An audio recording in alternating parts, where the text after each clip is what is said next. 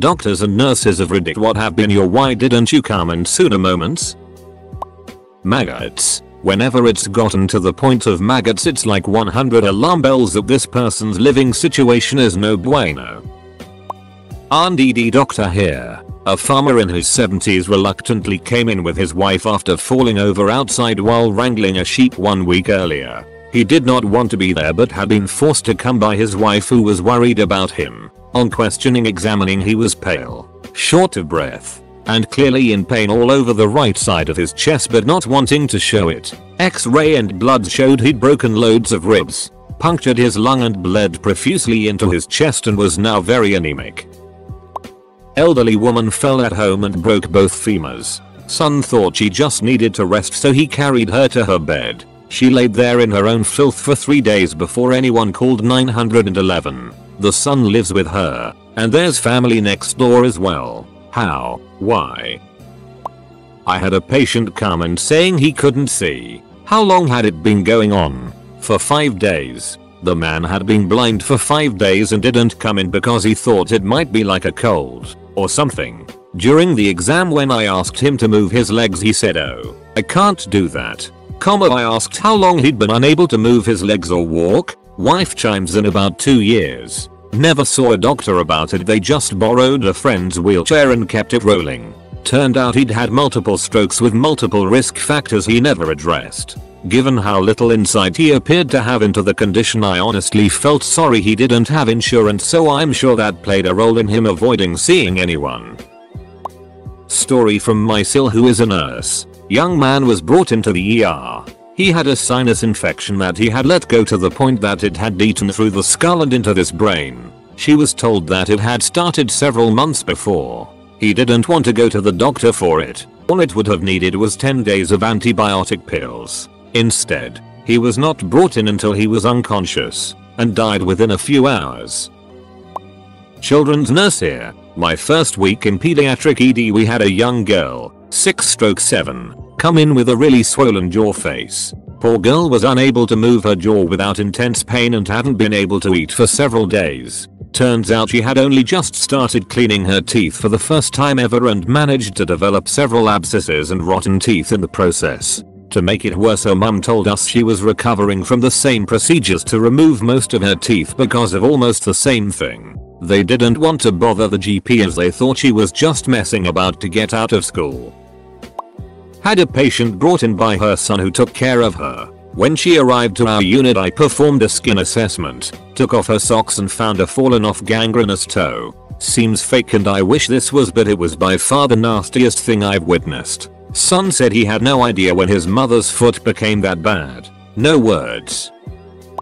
Not a doctor hospital staff. But my grandpa ended up passing away because he waited too long before going to the hospital. This was about 17 years ago. He was tending to one of his mules when something spooked it and he got kicked in the gut. He was in a lot of pain, but barely moved due to the abdominal pain so decided to take it easy and lounge on the couch for a week. He refused to go to be taken to the hospital. Unfortunately, that mule kick ruptured an unknown tumor in his intestines. The doc said it was huge, like volleyball size huge, and he may have survived if he came in sooner. By the time we got him to the hospital he had a severe case of gangrene. His leg needed to be amputated within a day of him being there. He passed away a week later. My dad is the one that wouldn't go in.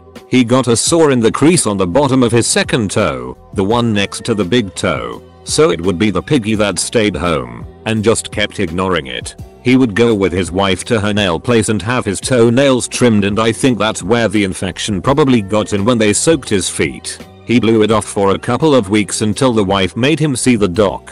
It's a good thing she did. The infection had gotten into the bone so they had to snip his toe off to the first knuckle to catch it before it went any further. The doc said had he waited any longer, he could have lost the entire foot. He's lucky to just have a stubby piggy and not a stubby leg.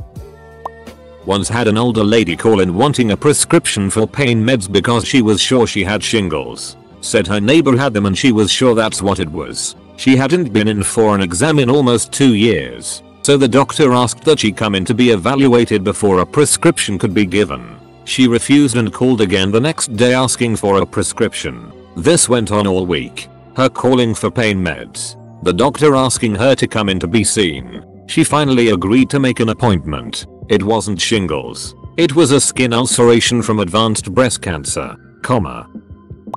My girlfriend is a care worker and she recently told me that she slipped off a patient's slippers and remarked I didn't know you had lost your toes to which the patient responded well I had until you took the slipper off dear. Sounds like something from a grim sketch show. God bless anyone who can do jobs like that.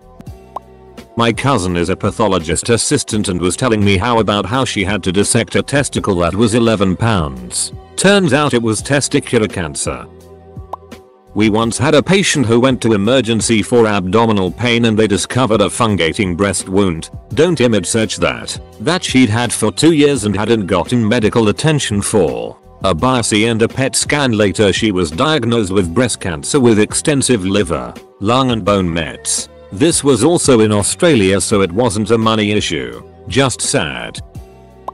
I've seen a few over the years and they generally fall into the category of a sigh if it's not diagnosed then I can't have it, or else I didn't think it was that bad. As a medical student I remember an older lady that had a breast that was necrotic and falling off. It had been progressing over the last several years. But, if she didn't get diagnosed with breast cancer, then she couldn't have it. In the other category I've seen a few cases of Fournier's gangrene. Pretty much obese. Male diabetics that had a pimple sore that started in the pubic region by the time they come to the hospital it's a raging infection where the treatment is basically to cut away everything in the pubic groin region down to the muscle layer. That little sore didn't seem like much at first.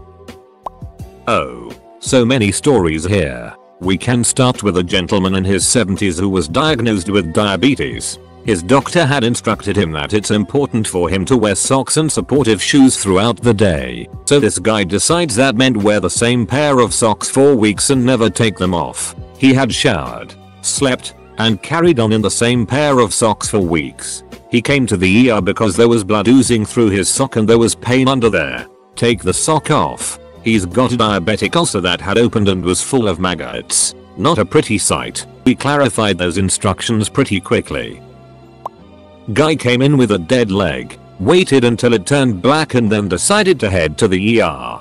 They tried an angiogram to open up blood flow but it was way late for that. Guy had several clots in his lungs and legs. Undiagnosed atrial fibrillation. He couldn't believe we were going to amputate. Kept asking me what else I could do. Go back in time a week ago and come in. Kinda around when it turned blue.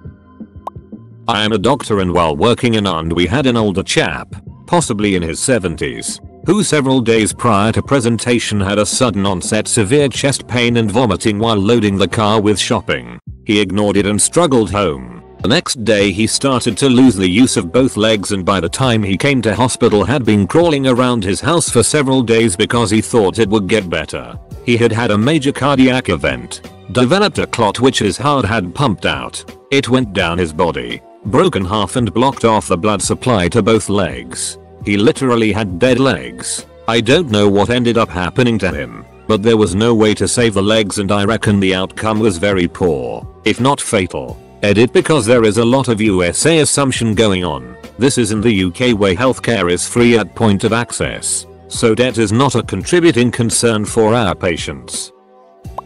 Not a doctor, but was this patient once. My sophomore year of college I started drinking coffee, and, as college students can be wont to do, I drank a lot of it. One evening, during midterms week, I get a bad headache, so I drink some coffee and settle in to churn out a few hours of work. My headache goes away, but I start noticing tingling and numbness in the right side of my body. It eventually gets bad enough that I can feel the line down my face where the tingling ends. My whole right side is totally numb. But, I think, it's midterms week, and I probably just need to sleep it off and it'll be fine, right? So I go to bed, wake up for my 8am, and the numbness is all worse. Eventually, at like 10am, I finally asked a friend to drive me to the ER. The ER doctor was horrified that I had ignored a very obvious sign of a stroke for at least 12 hours. It ended up being a complex migraine brought on by Essentially, a caffeine overdose and sleep deprivation. I adjusted parts of my lifestyle, including monitoring my coffee intake, and haven't had a repeat episode. Nurse here. I work in a very rural hospital, and we have a patient population that seems to avoid the hospital at all costs. I have had so many, usually related to diabetics with foot sores almost always resulting in amputation of a toe or more. However, my favorite was an elderly farmer who came in with chest pain that wouldn't go away, as he put it. When we asked him if he had it before had it before he had said that he had been having chest pain on and off for years, but it would typically go away after he grabbed his electric fence. Apparently, the first time he had the pain he was standing out near an electric fence on his farm, and he reached out to steady himself and accidentally grabbed the electric fence, which shocked him and made the pain go away. So after that, whenever he would have the pain, he just went and grabbed the fence and it made him feel better. He had literally been cardioverting himself for years. He was fixed up and sent on his way but we all still chuckle about it now and then because he was so nonchalant about it. I work in orthopedics. A very common occurrence is a patient is told to follow up within the week. We like to see fractures between 5 and 7 days, and the patient will call on the 6th day and say I broke something and need to be seen tomorrow. This is frustrating because we very rarely have the ability to get a patient in next day, and if they had called the day of or the day after then we definitely could have gotten them seen. But my number one why didn't you come in sooner moment was getting a call from a patient who had broken their forearm 2 months ago and never followed up. I got them scheduled. They no-showed their appointment. Rescheduled. They no-showed. Second reschedule. They arrive with a very obvious deformity to their arm due to the fracture healing incorrectly. If they had just come in, it wouldn't have been an issue at all. Blows my mind that they went almost 3 months without care. Obligatory not a doctor. I was sitting in a hostel with an emergency nurse and an emergency doctor that had just found out that while they worked on different continents, they did similar work. We were happily chatting along and this older guy walks in. He overhears that they're in the medical field and comes up to see if he can ask a question. He shows them his leg. That's got large black spots on it everywhere below the knee. Both the nurse and the doctor look at it and immediately go you have to go see emergency services. That leg is necrotic. You'll lose the leg if not your life and the guy goes huh. That's what my doctor back home said too. But the leg feels fine. I'd know if it was dying. You are wrong. Besides, I'm not gonna ruin my vacation by seeking medically treatment. Double quote. Which left me wondering why he asked in the first place. He goes to sit at the bar and over the course of the evening both the nurse and the doctor leave the table to try to get this guy to understand that he may not have 10 days until he's back home. That he needs to have this looked at now without success. Pretty sure that if that guy made it to a hospital, they asked themselves that question. This has happened a few times, actually, but I had a gal come in on Monday after being discharged from the hospital Friday after giving birth. So basically, we tell ladies to avoid intercourse until a doctor clears you. And well, her spouse kept insisting and insisting and insisting that Friday night she caved and let him go to town. He wound up tearing some stitches that were placed and bleeding like a stuck hog all weekend long. Came into our clinic. Blew in the lips and fingers. And her hemoglobin was 4. Normal should be 12-15. She didn't wanna be a bother. So she waited until she started feeling dizzy all the time. She got another trip to the hospital for transfusion and repair for that. But, like I said, this isn't the first time I've seen that. So for the love of god, if homeboy is begging for it after you just had a baby, maybe he needs a lesson in self-control and a bottle of moisturizer. Years ago as a nursing assistant on an oncology floor we had a guy admitted because he had had an erection for several days and had lost the ability to pee. His bladder was close to bursting and his poor junk was. Think microwave hot dog. Really bad. But none of that was as interesting as the fact that this guy had untreated skin cancer on his nose for several years that had over time become infected, developed MRSA, and spread across his face. He had no nose, no cheek, and no eye on one side of his face, and was starting to lose his other eye. You could see part of his ducking skull. I don't know why he chose to leave it untreated and I have no idea how long it took to get that bad. But I will never ever forget the smell and texture of his rotting face. On the upside, we were eventually able to convince him to have reconstructive surgery. He ended up getting a skin graft that covered up his eye, nose and cheek. So, if you ever meet a very grumpy dude with nothing but a mouth and one eye, know that this is way better than the alternative. Former medic here. Called to a patient who had cut their leg while chopping wood about a week prior and now it was really itchy. Old gentleman. Didn't drive. Lived alone. Got to his house. Unwrapped the ungodly swollen leg to find that he'd tried to superglue the wound closed and maggots had commenced to growing inside. The itching he was feeling was the writhing maggots under his skin. Not a doctor or nurse but the patient. I went into my doctor with some back pain and also brought up that my leg was swollen. The doctor I saw said it was probably just swelling due to sodium intake. A week later, the pressure and pain in my leg was so bad that it hurt to walk. I called off of work and had my husband take me back into the doctor. The doctor took one look and told me to get to the hospital immediately. He suspected I had a blood clot. I ended up having a massive blood clot from my hip to my knee and pulmonary emboli. I was transferred to another hospital for surgery and stayed in the ICU. Had I waited any longer, I would have died. Not me but my brother is an EMT for a warehouse. He recently had a guy come to his station saying something was wrong with his toe. So he asks him to take off his shoe. Which he does. My brother was about to ask him to take off the bandage around his big toe before he realizes that that wasn't a bandage. It was his skin. Apparently, this guy dropped a 20 pound tote on his toe a week earlier and had been showing up at work anyway. They sent him to the doctor. The doctor sent him to the ER. Diagnosis came back as a tissue infection as well as osteomyelitis, a bone infection. But wait, there's more. The guy come back from the ER and tells him that he doesn't want to go through the ER doctor and would rather go through his own insurance. My brother explained to him as best as he could that, as it stood, he was already likely going to lose his toe and if he waited any longer to get it treated, he ran the risk of losing his entire leg. Not sure what happened after that. I just hope he got the point.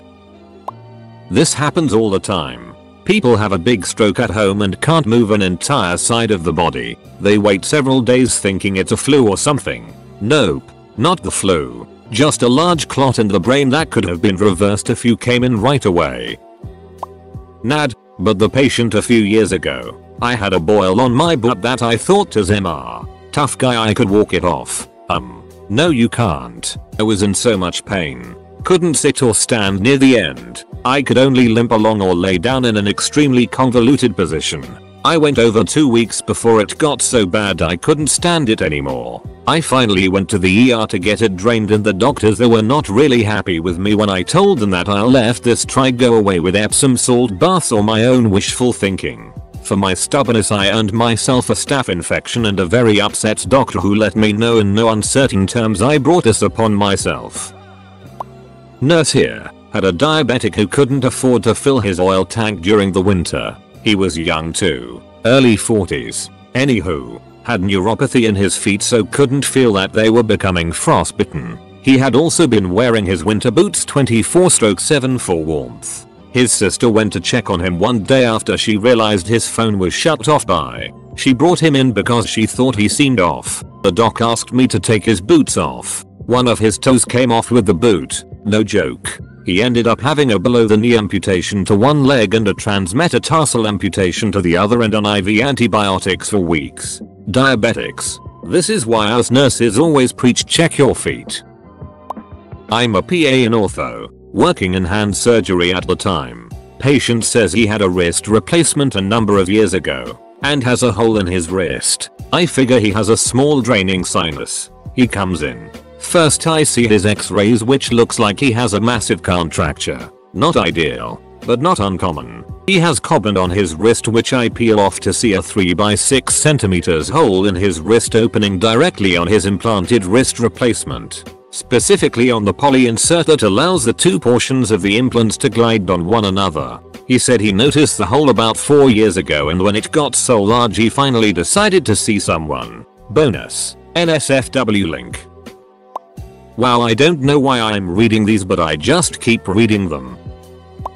I was this patient lol. When I was 18 I went to the ER for chest pain. It was the most painful thing I had ever felt. Seriously, I felt like the guy from Alien. A few hours later the ER doctor released me, telling me I had acid reflux and would be fine. Over the next two years this was a continuing problem. Once a month. And seriously, it was that predictable. First Saturday night of every month, I would get this terrible chest pain. No amount of antacid medicine would help. From over-the-counter medications to prescription. I tried not eating that day, drinking milk, sitting straight up all night. Nothing helped. Finally, after I literally passed out from the pain one time in front of my mom, she convinced me to see a doctor again. The doctor, the first female doctor I had seen, by the way, sent me in for a gallbladder ultrasound on a hunch and they discovered well over 100 stones in it. Cue emergency surgery.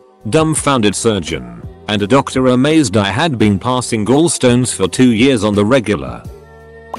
This happens all the time because healthcare is a financial decision in America.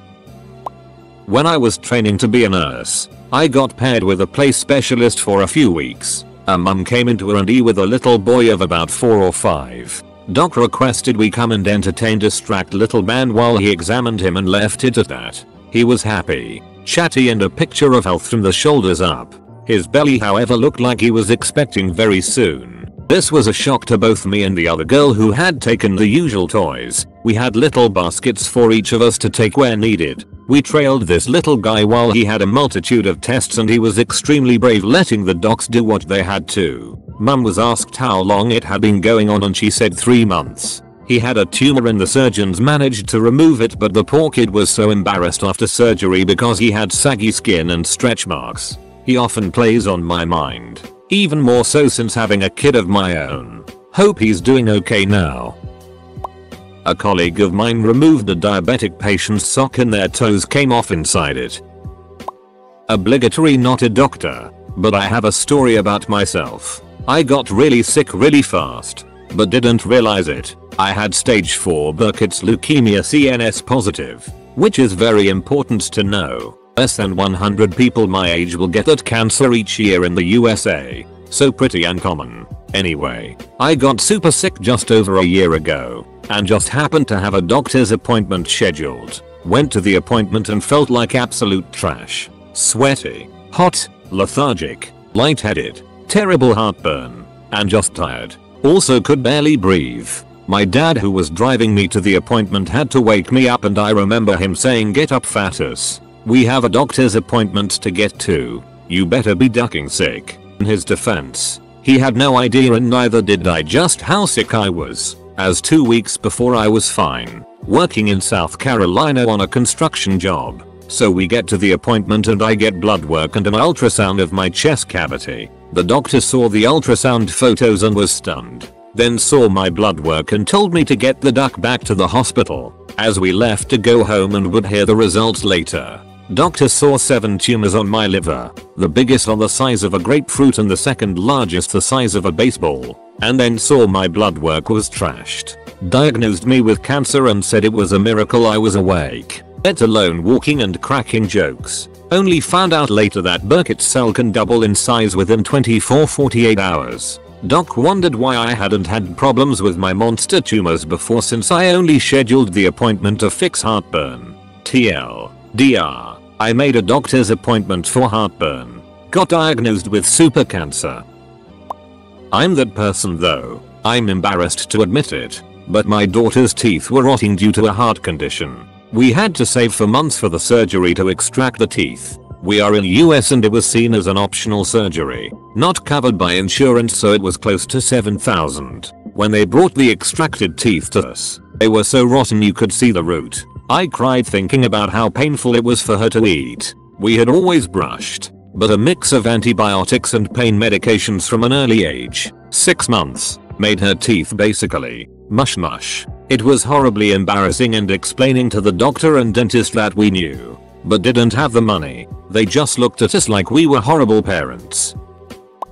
Had a guy show up in my clinic one day with a complaint of finger swelling, so as the story went, his finger got swollen and painful about a week prior, just got worse and worse. And about 3 days prior to coming, hole opened up in the tip of his finger. This is where I, personally, would have noped right to the office. So come the day of the visit, he says. By the way, I pulled something out of the hole in my finger yesterday with a pair of tweezers. No idea what it is. I asked him if he took a picture or kept it, and he produced a tissue from his shirt pocket. It was his distal phalanx, weed, last bone in the finger. The bone had gotten infected and the body did its thing and basically tried to eject what was now a hot foreign body. The guy pulled his fingertip out of his fingertip. A better magic trick I have not since seen.